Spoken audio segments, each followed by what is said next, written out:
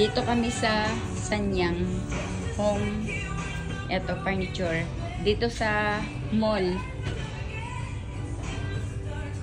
Eto, binili ni Hope. Eto, lalagyan ng mga collection niya ng anime. Eto, binili ni Hope.